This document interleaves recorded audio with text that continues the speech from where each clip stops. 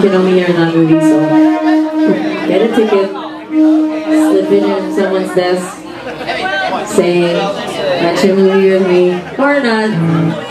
Boom.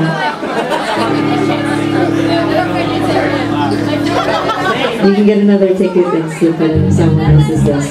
Forget about.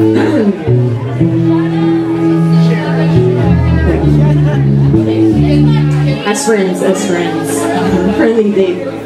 Thank you.